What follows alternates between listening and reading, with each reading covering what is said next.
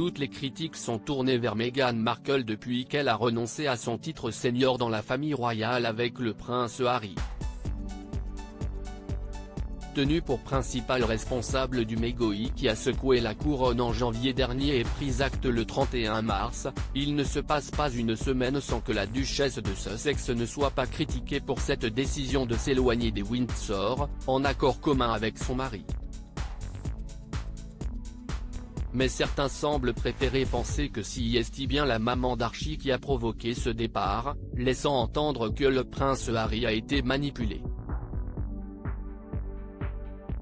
Malheureusement, au cours des deux dernières années, il est devenu complètement aigre, déplore le photographe royal Arthur Edwards auprès de page 6, qui précise que ce mégoï aurait été pensé juste après leur mariage, sinon avant.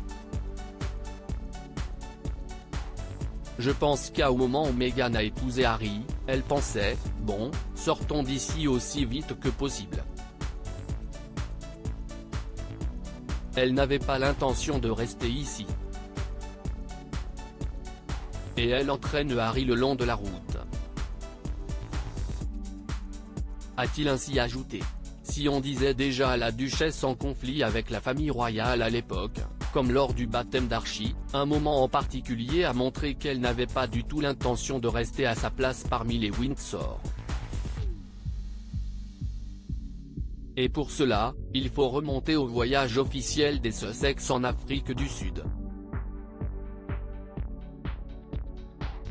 Ce moment précis qui a été un tournant dans leur rôle hormis son interview au cours de laquelle elle avait confié tout son mal-être vis-à-vis de comment elle était traitée dans la presse, son attitude qui tranchait avec le protocole avait quelque peu mis la puce à l'oreille de la journaliste Christine Ross.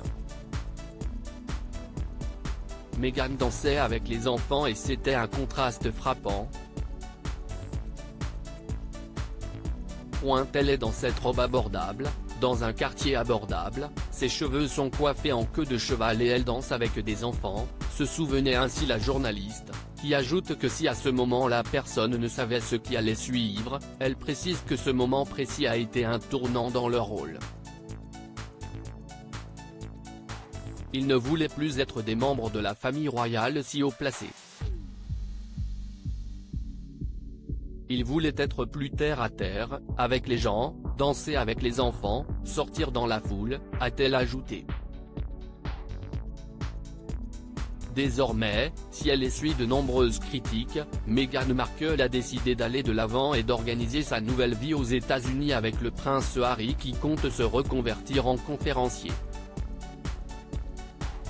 Et la duchesse de Sussex participera même prochainement au sommet du Leadership Girl Up, du 13 au 15 juillet prochain, et ce, avec Michelle Obama.